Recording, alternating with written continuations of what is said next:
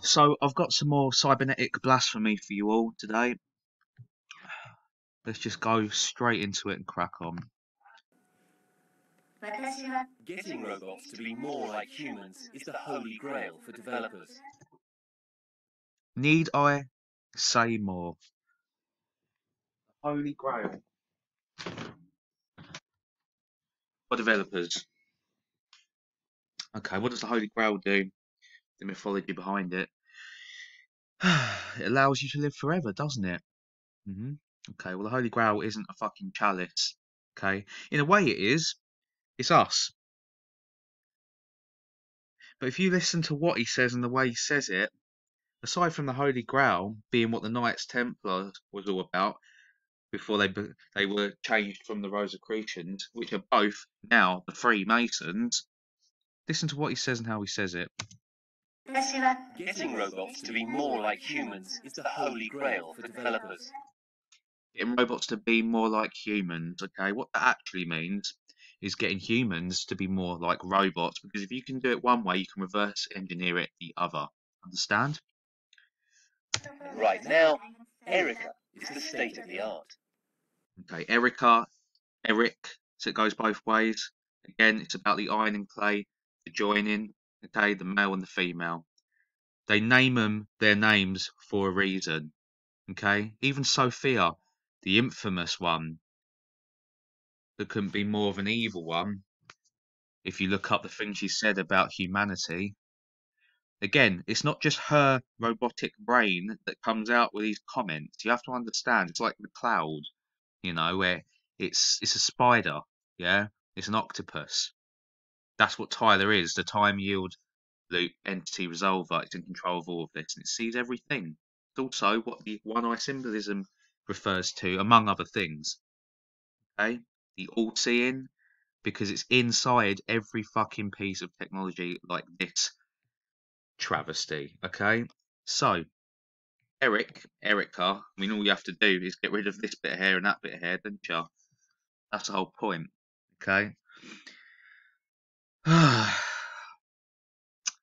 yeah, there's more to this than they're letting on, okay?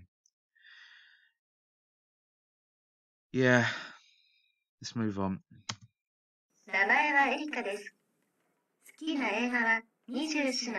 She's currently telling me the plot of her favorite film.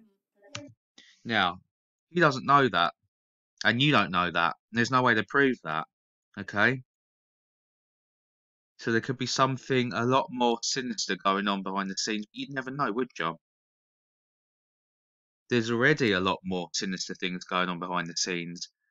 Okay? Take Japan, for example. such a culture of technology, you realize that they now have up and running, full frontal love hotels, as they call them, for robotic prostitutes. You walk in, you do whatever you want to them. Anything. Don't have to be sexual, do you know what I mean? If it does, it doesn't have to be nice. All it is, is giving them the imagination to do what they can't do in reality because of the law. Okay. What's next? Robotic children.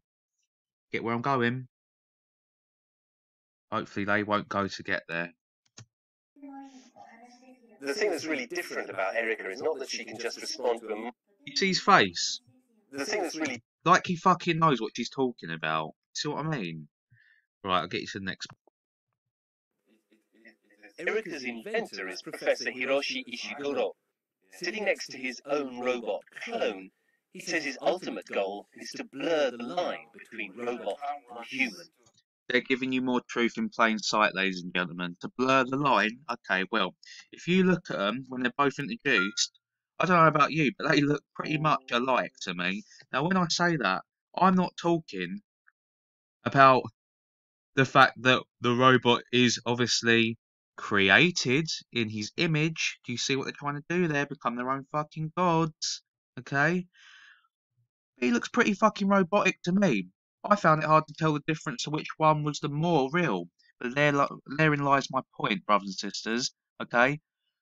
There is a thing, a term, a concept, an idea It's called planned obsolescence. Okay, what they do, they create a piece of technology and they present it to the masses the same way this doctor is doing with this robot.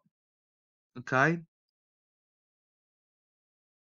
and they make you think that that's the best they've got in regards to that certain technology. They do it with mobile phones, they do it with computers, they do it with games, okay? They do it with CGI. Most importantly, they do it with transhumanism, okay? So, the psyop here, and I'd be very fucking surprised if you're not, is that they're both robotoids, okay? And the only difference is that one of them, when you pull out the box, it falls apart. All right, because it's a cheap rip-off of the one on the left. Telling you. Now check out its skin texture. Check out its hair. He says his 'Cause it's better, goal is to but it's not blur the best. between robot They've got a lot better, okay? The And they're getting better. the evolutions. One one This- is gain, of course. Is a top of the line, okay? Not the not the the highest, but certainly not the lowest, okay? This is a mannequin in comparison.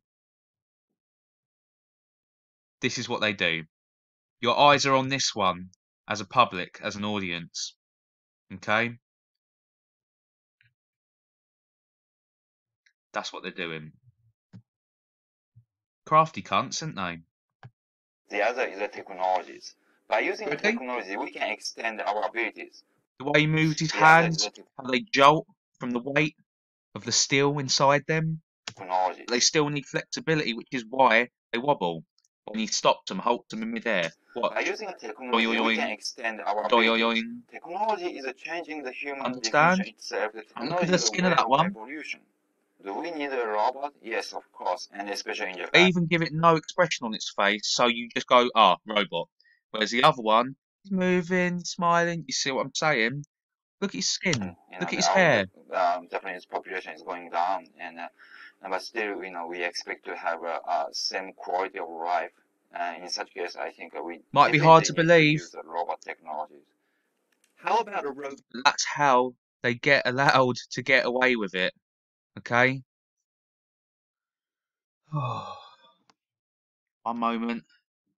My beauts. Now, I have no issue whatsoever when it comes to allowing someone that's disabled to walk again or even for the first time, you know, to see again or even for the first time, to hear again or even for the first time. This is what technology should be used for, okay? It's not technology that I'm against. It's the transhumanism agenda to use it, okay? But they're show again, it's it's visual and linguistic programming, okay? Neurology is weaponized these days towards our own, okay? I'll show you how. So this is charming. Alright, this poor guy, he's been paralyzed. They're allowing him to walk again. Okay, attack on the heart because it gets your heartstrings, okay? It gets your feelings. And then they slip this in.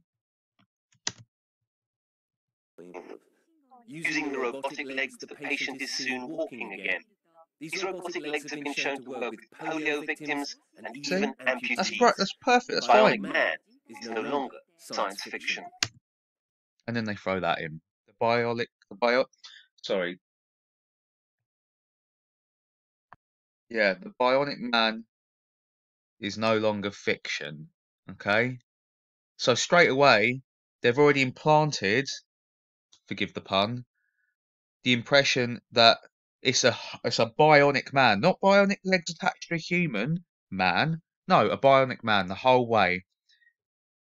Okay? Amputees. The Bionic Man is no longer science fiction. and then they also imprint the idea of it's still a sense of science fiction. They say no longer science fiction. Okay, just by saying the word, you're making it sound like science fiction. Do you understand? They're showing you. You already know that it's not. but they say it anyway. That's how you can tell the difference with neuro neuro-linguistic and visualization of programming. Okay, right. Very nefarious. Okay. So I'm just going to show you this to finish off quickly. It was on the end of another video that weren't worth really doing much about. But the Saturnalia of it, I just thought was absolutely hilarious. This is why I always attack the BBC News. They're just the best for it. They really are. Plus, I know everyone does American news, so being a Brit, I thought I'd keep it at home. That's what they want us to do, don't they? To be kept at home, so I'll fucking throw it back at them. Right. One moment. Do not tell me this is not worship of Kronos, okay? Just have the eyes to see it, please. Because it's right in your face. Ready? So, is that the Earth? Or is that the, the rings that are being broadcasted over it? You tell me. Does that not look like a storm on the top of Saturn? Right. It's Saturnian worship. And it's been going on for a lot longer than we have.